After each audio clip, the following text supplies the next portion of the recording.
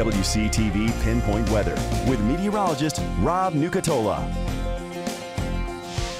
Well, good morning, everybody. Let's start on 24-hour temperature cast that wants to get those numbers cranking. I think we're going to see 90s right after lunchtime and probably stay there for several hours. The key will be as always, the showers. Who gets them, who doesn't, that's we'll know who stays the hottest. There are showers to the east. That energy that was been trying to circulate and even try to acquire some of those tropical characteristics, bringing some rain and thunder to areas from Jacksonville across the I-95 corridor and trying to move back towards I-75.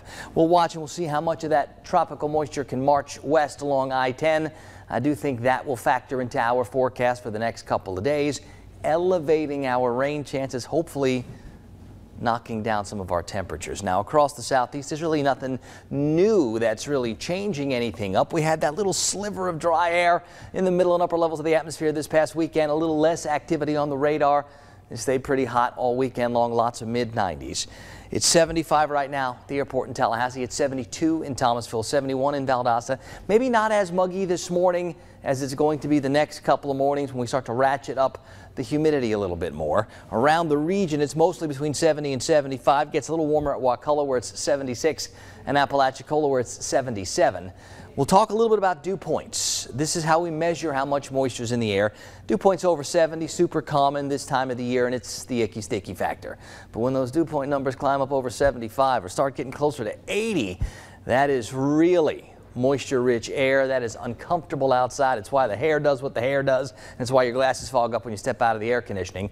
That is going to continue, and I think those dew points will continue to increase over the next couple of days as that tropical moisture marches in our direction. Now, with that, and with the sea breezes, the afternoons should feature some more scattered showers. And that's all we're looking at here, scattered showers. It's not a organized, classified, well-defined tropical system or anything. So likely all it's going to do is just continue to introduce more moisture to the air, and that gives the sea breezes more to work with to shake those showers out of the clouds during those peak daytime heating hours, you know, 3, 4, 5 p.m. Now, the earlier the showers get started, of course, the better chance we have to knock those temperatures down before they get too high, and certainly the better chance we have to prevent them from staying so high. But you got to expect a lot of hot, especially today, but even the next couple of days until the showers start doing their thing to cool it off. Winds on the Gulf today start northeast, end up on shore 5 to 15, seas 1 to 3 feet. Not bad for the boaters at all. We'll finish up the high tides before 8 o'clock this morning. Mid 70s, mixture of clouds and clear. Rain chances still pretty low. This afternoon, We'll bump them up to about a 40 or 50% shot for showers, but I think a lot of us are going to spend several hours in the mid 90s. Tonight, whatever showers are going fizzle out. It stays muggy. And over the next couple of days, lots of hot, lots of humid. Hopefully, that gives us more showers earlier in the afternoons. Maybe we can lower some of those mid 90s because that heat index, guys, is going to make it feel about 10 degrees hotter than it is.